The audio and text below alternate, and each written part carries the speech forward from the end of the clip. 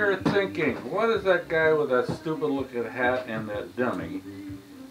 Don't, don't hurt her feelings. I'm sorry. Her name is Blondie, and uh, I've been a Creative Live fan for many, many years when you first started up.